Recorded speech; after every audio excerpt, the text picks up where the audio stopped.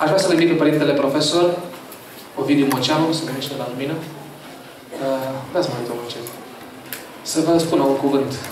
Dânsul fiind specialist în, uh, e profesor de limba română, ar putea să vă țină aici până și literatură, până după Paști. Dar uh, calitatea unui om de valoare este tocmai că poate spune multe în cuvinte puține. Preacuceriți părinți, dragi colegi, dragi colegi, dragi elevi, am uh, aflat de Zorica Lațcu, nu din tratatele de istorie literară, ci din cuvântul părintelui uh, Teofil Părăian.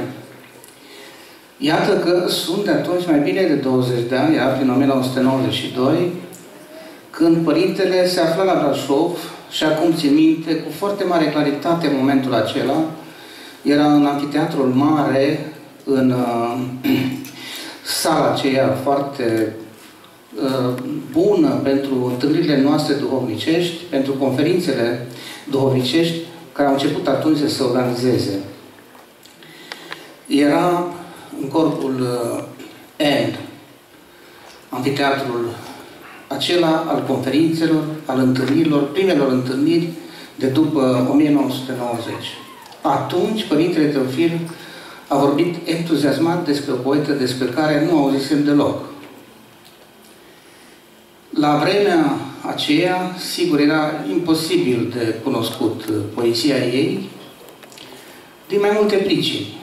Nu s-a reeditat, nu s-a vorbit despre Zoica Teodosia Lascu. Nici nu avea cum să se reediteze o asemenea poezie.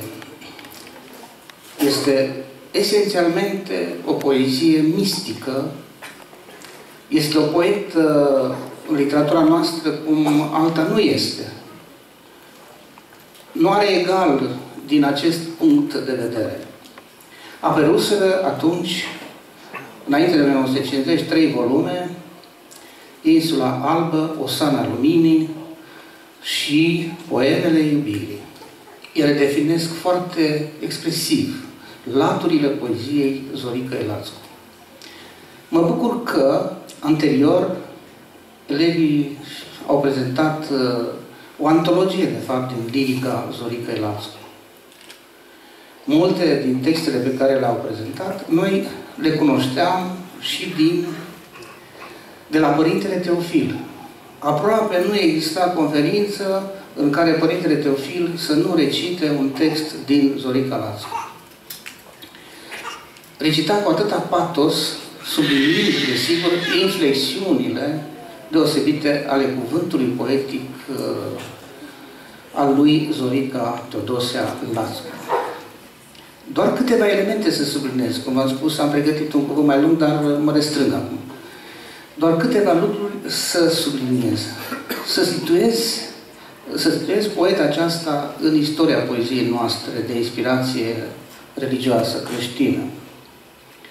Sunt două dimensiuni. Ca unul care a prezentat studenților un curs de literatură creștină, am cercetat, pe, am cercetat textele cele mai reprezentative, personalitățile cele mai reprezentative pentru tema pe care o aveam eu în vedere.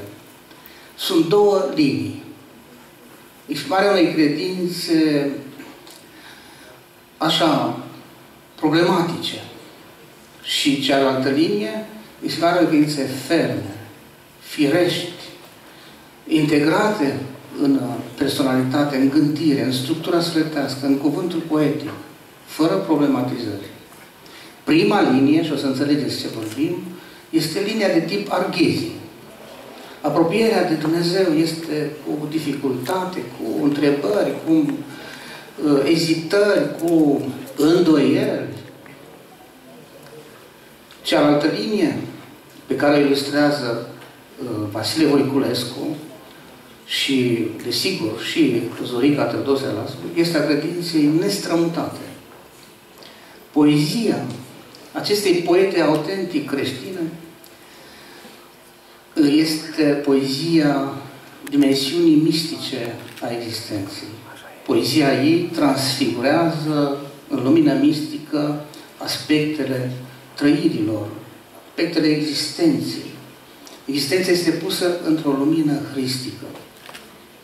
Poemele luminii, iată, sunt poemele luminii divine, aceea care străbate lucrurile. Nu este vorba de o lumină materialnică, ci o lumină de dincolo de lucruri, lumina lui Hristos, ca să folosim un cuvânt dintr-o, din Sfânta Liturghie a darurilor mai înainte uh, simțite, lumina lui Hristos luminează tuturor. Trebuie însă să ne deschidem sufletul să o receptăm. Poezia lui Zorica Lascu este tocmai acest, această deschidere spre dimensiunea aceasta mistică a existenței. Am avut un model în ce privește mistica luminii. Este vorba de Sfântul Simeon, noul teolog, din care a tradus. El este cel care, în versurile sale extraordinare, în poemele sale extraordinare, vorbește de lumina, lumina necreată. De asemenea, sensibilitatea, delicatețea, în iubire sunt calități uh, pe care nu le întâlnim de multe ori la cei care abordează această tematică. În Zorica Teodosia Lascu găsim una din cele mai, uh, uh, cele mai rafinate expresii ale sentimentului iubirii străbătut și de o credință, o dedicare a ochilor spre cer. Iubirea este pusă totdeauna în uh, lumină divină. Încă nu este cunoscută de plin, așa cum ar merita această poetă. După un avânt uh, editorial, chiar un părinte din Brașov, Cornel Toma, a îngrijit uh, un volum de poezii, selecție din cele mai reprezentative poezii, lucrurile au stat pe loc. Se așteaptă acum filologul care să vină să restituie aceste texte deosebite din multe puncte de vedere. Ebitalam, uh, te port în suflet din care ați auzit uh, versul acum, Ectenie, fila de acatist, sunt uh, texte exemplare în sensurile în care uh, vorbeam. Și la asta acum, cred că unii prima dată ați aflat de Zorica Teodosie Arnascu.